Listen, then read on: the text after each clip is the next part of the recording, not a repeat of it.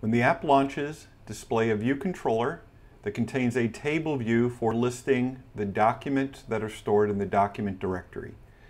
At the top of the view controller is a nav bar with a title that says Documents, and on the right side of the nav bar an add icon, the plus sign, that when tapped takes us to a view controller for creating a new document. The name is to be the name of the document, which also serves as its file name when the document is saved in the document directory. There's also a text area for entering the contents of the document.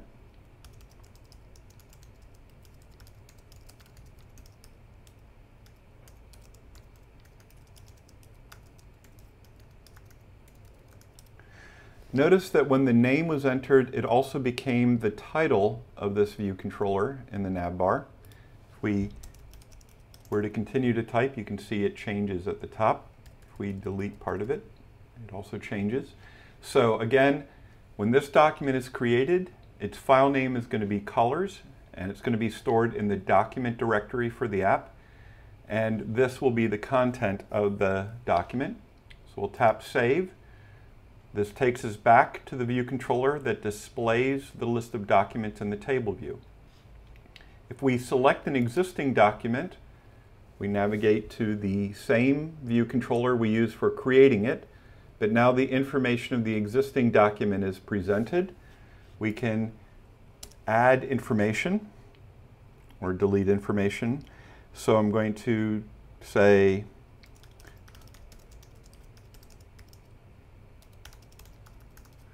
and hit save.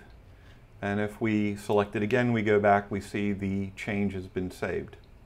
If we change the name of the document right now, we're not going to have it change the name of the file.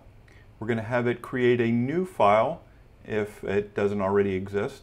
So if I say colors and more, hit save, I now have a second file. Colors still exists. Colors and more is now the new file that was based on the old one.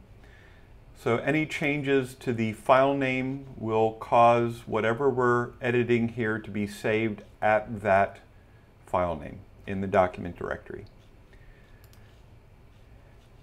Documents can be deleted by swiping the cell and selecting delete or pulling on the cell completely and deleting it.